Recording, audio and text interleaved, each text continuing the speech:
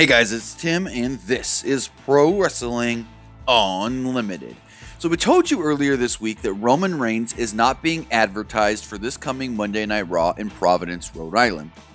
Another interesting fact with this is it looks like Roman Reigns has been given the entire weekend off by the WWE for an undisclosed reason.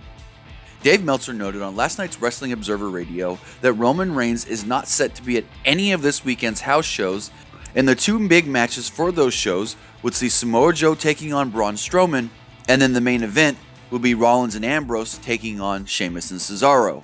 Meltzer didn't say anything else as far as saying why Roman has been given the weekend off or why Roman is not going to be working these four shows.